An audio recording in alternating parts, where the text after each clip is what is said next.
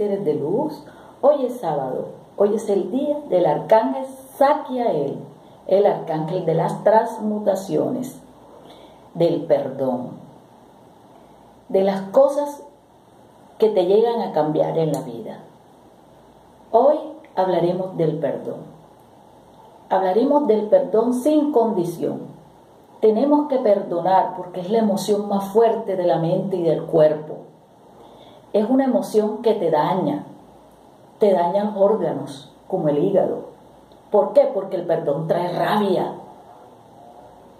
Yo sé que hay, que hay eh, cosas en la vida muy difícil de perdonar, pero si tú no lo haces te vas a enfermar. El perdón es una de las emociones que los seres humanos, muchos seres, no han podido cambiar en su vida. Hay que perdonar para que tengas salud, para que tu cuerpo esté en buen estado. Hay que perdonar cada cosa, pero primero perdónate tú, pase lo que haya pasado en tu vida, las cosas peores que te hayan hecho. Lleva a perdonarte.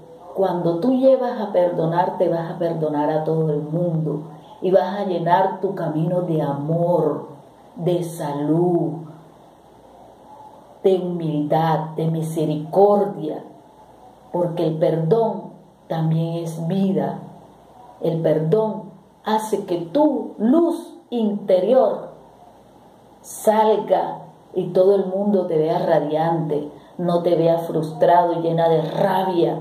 No, perdónate tú mismo y lograrás una luz muy grande en tu camino, mi ser, mis seres de luz.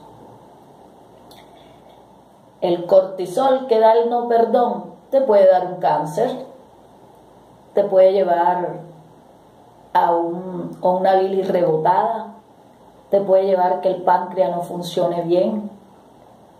Pero si tú perdonas sin condición, tú vas a llegar muy lejos contigo misma. Contigo misma, tu salud va a ser generosa y el mundo va a ser generoso contigo.